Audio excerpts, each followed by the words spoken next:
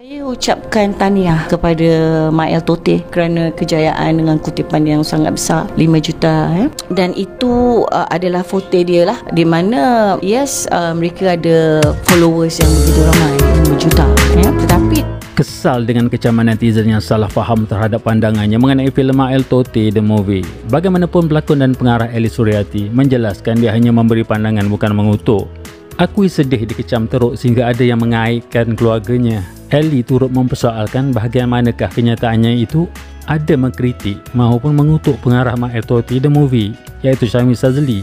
Saya mengucapkan memuji kejayaan filem Mak Toti The Movie dari segi kutipan bercecah 5 juta dalam tempoh 12 hari tayangan melalui Astro First. Saya akui filem ini memiliki formula hingga berjaya selain mempunyai kelompok pengikut.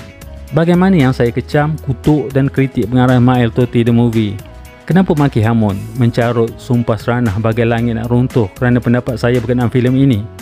Nak kena saman baru puas hati ke? Katanya melalui petikan daripada BH Online. Tegas Ellie lagi, tidak adil dirinya dikecam seperti sampah hanya kerana pendapatnya itu tidak selaras dengan peminat tega filem arahan YouTuber terkenal itu.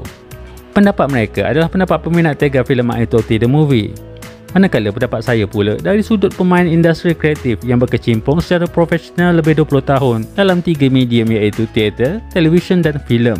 Pendapat peminat tega dan pandangan pemain industri tidak boleh dibuat perbandingan. Saya adalah sosok pemain industri, bukan pengkritik. Saya juga penilai karya kreatif industri filem Malaysia. Pengalaman sebagai juri anugerah skrin TV3 ASK kategori filem selama beberapa tahun dan juri Festival Filem Malaysia FFM melayakkan saya memberi pendapat mengenai perfilman Malaysia. Saya juga penilai luar bagi peperiksaan tahun akhir pelajar fakulti seni persembahan Universiti Malaya. Selebihnya tak perlulah saya beritahu katanya. Tampil menjelaskan mesej sebenarnya itu, Ellie berkata pandangannya lebih menjurus kepada pembikinan sesebuah filem cereka. Ujarnya, tidak kira berapa besar kos penghasilan filem itu, aspek teknikal adalah perkara penting. Kerja teknikal penting untuk setiap genre pembikinan filem dalam dunia ini. Tidak kira lah penghasilan filem berskala besar, rendah atau Hollywood sekalipun. Asas dalam menghasilkan sesebuah karya filem adalah aspek teknikal pembikinan sesebuah filem cereka. Kena capai aspek teknikal ini dahulu sebelum menghasilkan filem katanya.